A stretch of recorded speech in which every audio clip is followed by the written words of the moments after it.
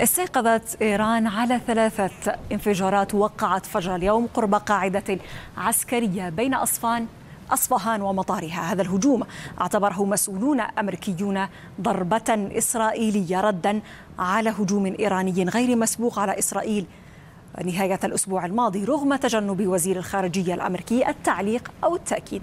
قالت شبكتا NBC و CNN إن إسرائيل أبلغت إدارة بايدن مسبقا بالضربة لكن واشنطن لم توافق عليها ولم تشارك في تنفيذها. ونقلت هذه الصحيفة صحيفة واشنطن بوست عن مسؤول إسرائيلي أن الهدف من الضربة هو تحذير إيران بأن إسرائيل قادرة على الوصول إلى داخل البلاد. هذا الكلام أكده مقربون من نتنياهو تحدثوا إلى صحيفة معاريف بأن إسرائيل قادرة على اختراق الأجواء الإيرانية لكن هل كان الهجوم من الداخل أم من الخارج؟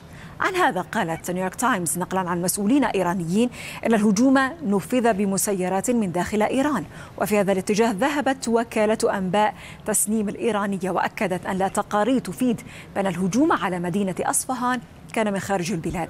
وإلى جانب ذلك قال قائد القوات البرية بالجيش الإيراني إنه في حال ظهرت أجسام طائرة مشبوهة في سماء البلاد مجددا سوف تتصدى لها قواته في الحال.